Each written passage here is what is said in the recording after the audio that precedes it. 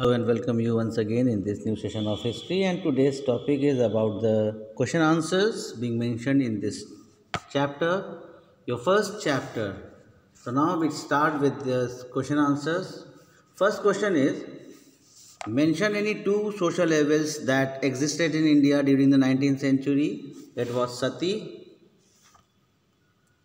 where the widows were burned on the funeral pyre of her husband with a terrible evil which existed during the 19th century. Then second is the rigid caste system, which is in which the upper caste oppressed and looked down upon the lower caste with an another social evil.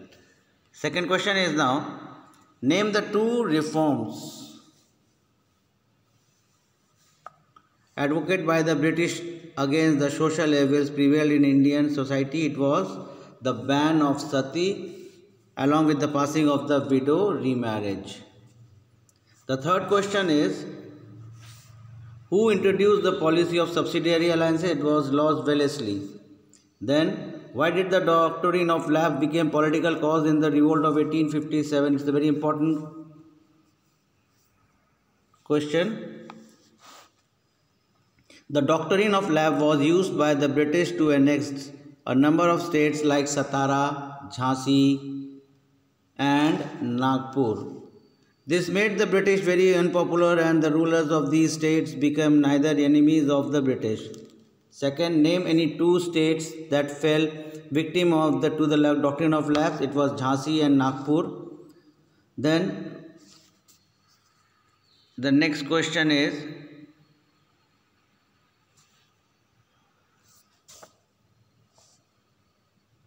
When was Awadh annexed? Under this pretext was Awadh annexed by the British? Awadh was annexed on February of 13, 1856 by the British on the pretext of the maladministration by Nawab Wajid Ali Shah. Then your next question is what was Nana Sahib's grievance against the British. The main grievance of the Nana Sahib against the British was the British stopped his pension. Then, what was the General Service Enlistment? The General Service Enlistment was passed in 1856. According to this, the soldiers of the Bengal Army could be asked to serve anywhere. Then,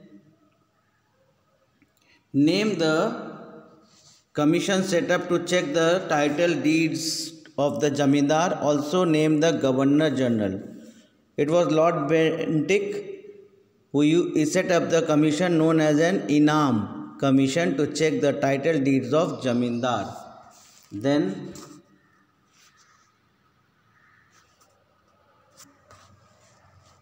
mention any two activities that cause fear the British government was determined to convert the religion of the Indians to Christianity.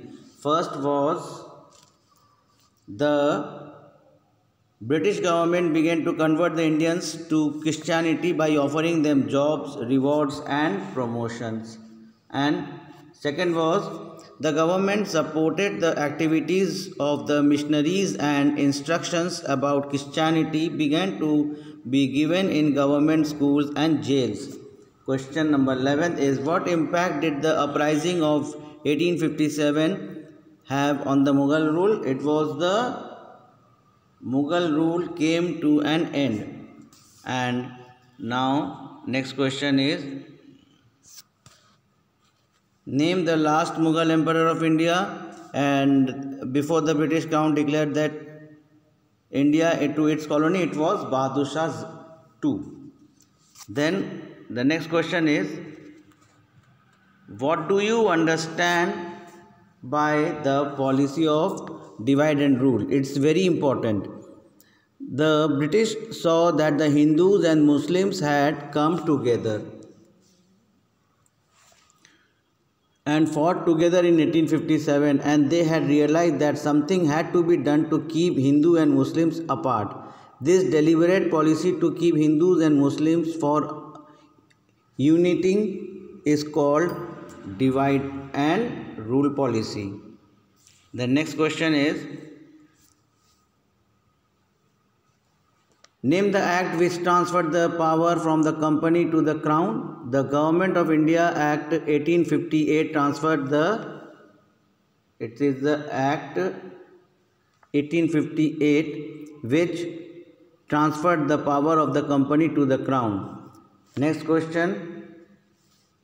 Where was the Indian India Council located? How many members did it have?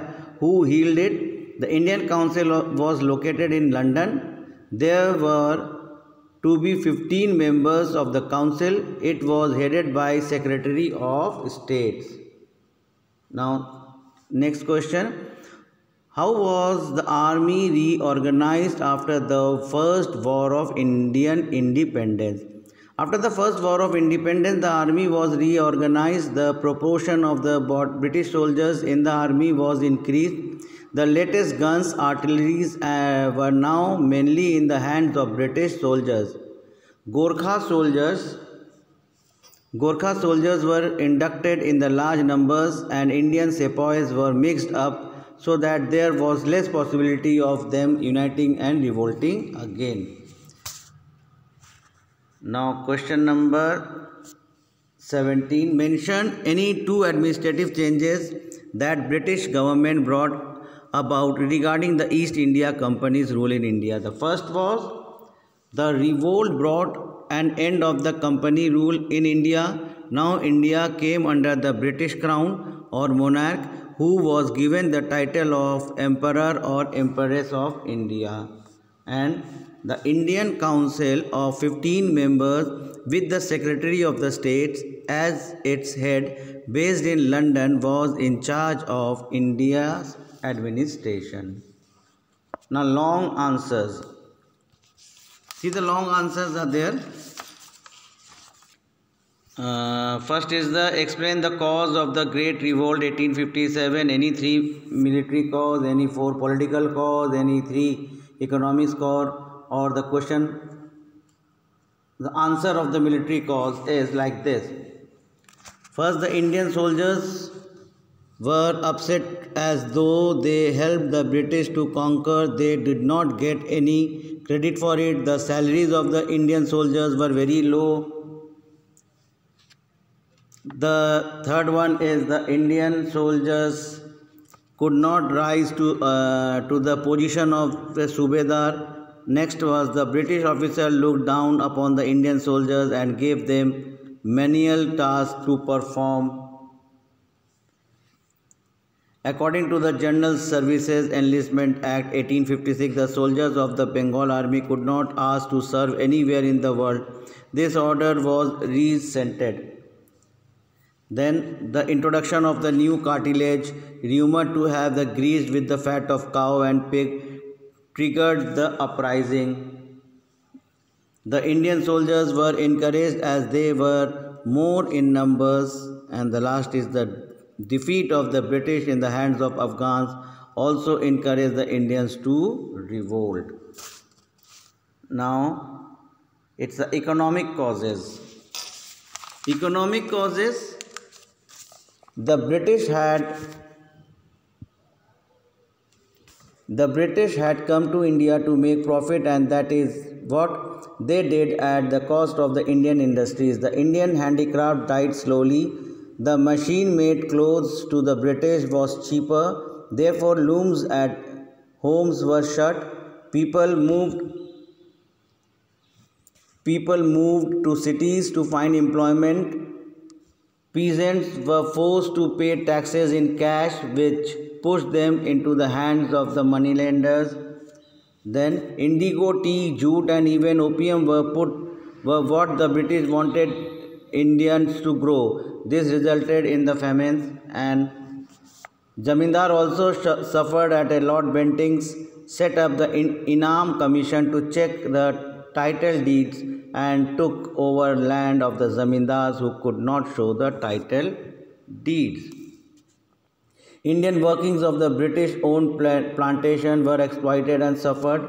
India was rich, but Day by day, its peoples were becoming poorer. because of the British exploitation. Political causes The policy of the annexation using whichever means possible followed by the British upset the Indians. The annexation of the Oudh or Awadh. Then third is the doctrine of lapse which were the kingdom lapse to the company of it if the king died without any natural heir. Then outright conquest of the Punjab after the death of Ranjit Singh made the British very unpopular Nana Sahib was upset for as his pension was stopped. The Mughal rulers were upset as it has been announced that after the death of Bahadur Shah, his successor would not move to the Red Fort. Then the rulers would also not be allowed the use of the royal titles anymore. Then the common people also referred to be ruled by the Indian kings as the British kept themselves aloof and were not there to listen to the grievances of the people. Last is the Zamindar whose land is, was confiscated were also upset. Now, numerous causes were at work in the causing of the Great Uprising explain with the reference. First was the introduction of the railway telegraph the introduction of the enfield rifles and the law that interfered with the regulation of the customs. The first one is the introduction of the railway upset the indians. Firstly there were separate compartment for the europeans where even the educated indians elite were not allowed Again, the railway compartment meant for the Indians, also the Indian, irrespective their caste or religion, had to sit together. This hurt sentiments of the caste-ridden Indians who were thus forced to sit together, and the Indians were upset with the introduction of the telegraph as their rumor was that telegraph poles would be used for hanging Indians who went against the company's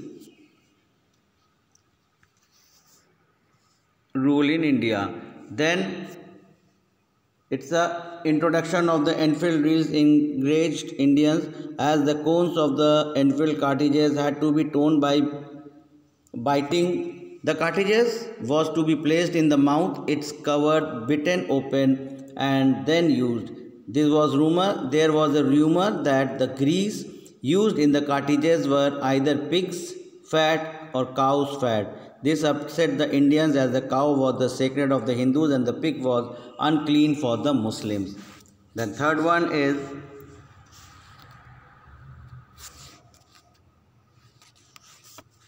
The British passed the Widow Remarriage Act in 1856 and this was progressive set up by the uh, but was not liked by the Orthodox Indian. The English also prohibited female infanticide and sati which was not liked by the Indians. The English also imposed taxes on properties of the mosque and temples and the Hindu law property was passed in 1850. And several other were the development of the sepoy, resentment of the ruler of the native states against the British rule and unhappiness of the Indian artisans and the cart. It was the Indian soldiers were upset their salaries were low. The British officer looked down upon the Indian soldiers, and the introduction of the new cartridges was also the cause. Then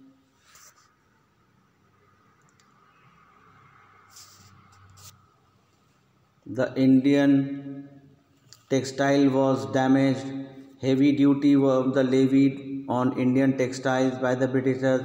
Slowly, the artisans started losing employment. Then describe the result of the first war of independence. After the revolt, the British tried to appease the princes. The policy of annexation was put on hold. The doctrine uh, of lapse was not used. It was declared that all the treaties would be renewed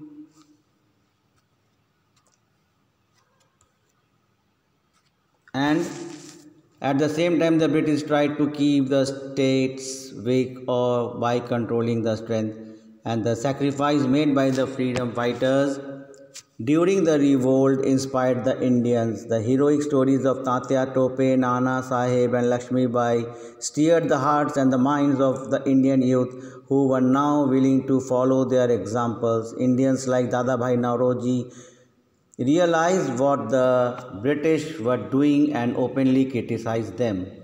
And another changes were an act of the the Act for the Better Government were passed in 1858 by the by which Indians come, came under the rule of British monarch Queen Victoria. Now the Governor General was given the new title. He was now known as a Viceroy. The Indian Council with the Secretary of the State for India was established and the Indian Civil Service was streamlined and examination were held for retirement. Now another is the picture based. So read this very carefully. So that's all for today's session. We will meet in our next session with a new topic. Till then have a nice day and complete these question answers in your register.